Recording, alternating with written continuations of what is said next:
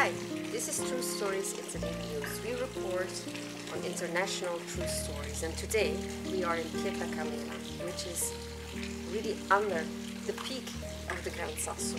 It's almost the last town that you can find before you reach the peak. So not only the view is spectacular, but also the community is quite different because you have to imagine that during winter time passa e scrive eh, così certifica qualcosa per far vedere che ci siamo qualche Un po' di vita c'è, dai.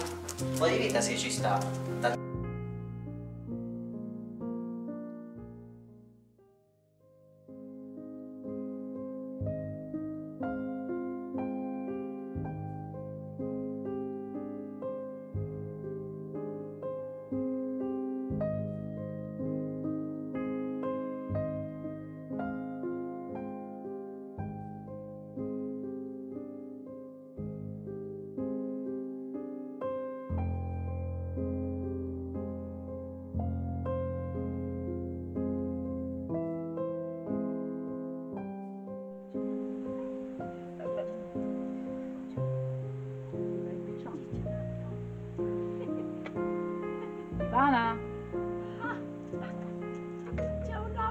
c'è un ospite, hai visto? Non siamo soli. Ecco, Ecco, per guardare tutta Pietra Camera la adesso- bevono tutti. Eh. Io metto l'acqua proprio Brava, per i cani. brava, Chiunque bella. passa, che cani, c'è il cane di Luca. Zen come passa e via, diretto alla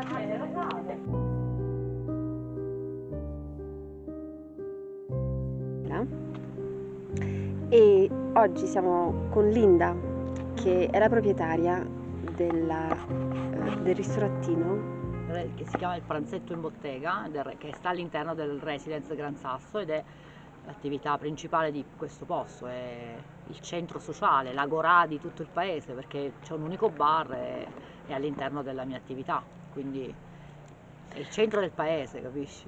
A chi viene per la prima volta qui, eh, potresti salutare questa persona, accoglierla nella lingua del posto?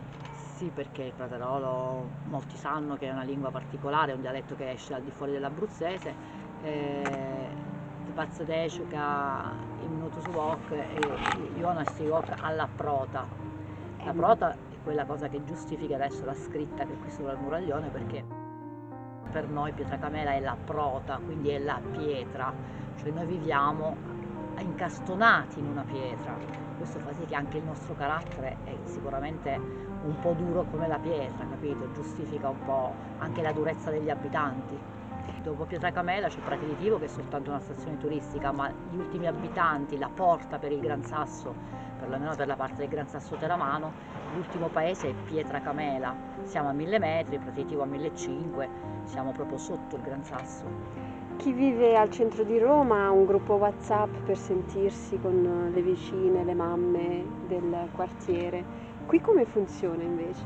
Qui abbiamo un gruppo WhatsApp, diciamo, tra virgolette, quasi diciamo tra tutti gli abitanti con la Proloco, con delle piccole associazioni culturali per cui eh, parliamo in pretarolo su WhatsApp, ci si manda le foto, c'è gente che ha foto dei, dei ricordi di persone che non, so, non ci sono più, gente che è andata in America, quindi c'è tutto un modo per ritrovarsi, per ricordare, per riparlare di nuovo di Pietracamela, per qualcosa per cui abbiamo in comune che sono le nostre radici. Ci sono persone che magari si ris- rispondono anche da Roma, dal Canada, molti, so, molti sono a Toronto, in Canada, però è un modo per tenersi collegati, stare e, e vivi, no? Come tenere viva questa cultura pretarola che particolare, ti ripeto. cioè, Si riempie più d'inverno o d'estate con Dai, questa comunità piuttosto Sicuramente internazionale? d'estate, ma al di là della comunità che torna, anche canadesi che tornano, gente che torna da Roma, che è a casa qui, ma eh, d'estate ci sono tantissimi turisti che vengono da tutto il mondo, dalla Germania, dalla Francia, dalla Svizzera, da, da- da- da- dappertutto. Io adesso ho anche per dire, ho delle prenotazioni a maggio di, ge- di fotografi texani che dal Texas vengono a vedere eh, il Gran Sasso, quindi è un po' international questa frequentazione. Sicuramente l'estate il periodo è molto lungo, quindi le frequentazioni ci sono, sono tante perché da, da giugno ancora a ottobre abbiamo di nuovo ancora gente, arrivi gente che non è ancora partita, però Natale e Capodanno c'è il suo perché, perché tutti quanti vorrebbero fare le feste di Natale sulla neve, Capodanno sulla neve, l'atmosfera è bella, Pietra Camela poi se la guardi dalle curve prima di arrivare è veramente un presepe, tu immaginati con la neve che sembra di stare a vivere dentro al presepe, quindi hai delle, delle emozioni, delle sensazioni bellissime, quindi anche durante il periodo di Natale e Capodanno, tutto l'inverno nei weekend soprattutto siamo, siamo pieni. Sì. Si quindi... trova qua, decide qual è il giorno per andare a fare la spesa, quindi bisogna fare 18 km, però di strada panoramica in montagna, anche piacevoli. Arrivi a Montorio c'è tutto, dal carburante, macellerie, panifici, tutto quello che ti serve. E poi però sai che torni nel tuo paradiso, capito? Nel tuo posticino, al silenzio, tranquillo, immerso in una natura spettacolare e è chiaro che poi la mattina puoi anche decidere di mettere le scarpette e andarti a fare un giro qui sopra, voi forse non avete il tempo, ma sopra Pietra Camela ci sono le falesi di arrampicata, ci sono 20 vie di arrampicata, molto spesso ci sono tanti ragazzi che fanno climbing, che vengono a fare un po' di allenamento pomeriggio, mattina, perché poi sono tutte monotiro, quindi in 2-3 ore riesci a fare tante cosette.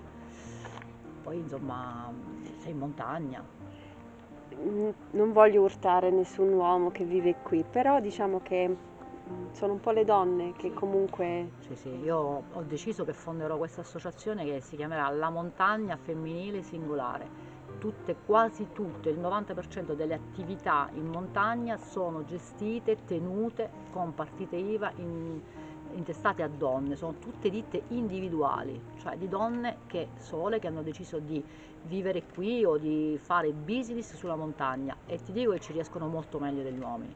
Sono molto brave, molto organizzate, noi abbiamo la farmacista femmina, gestrici di ristoranti, bar, alberghi femmine, anche la, la signora che porta il pullman è femmina, capito? Sono tutte donne, le donne in montagna riescono meglio, hanno molta resistenza, mozzano, si adattano benissimo, ehm, sì, devo dire che la montagna è proprio femmina, veramente femmina.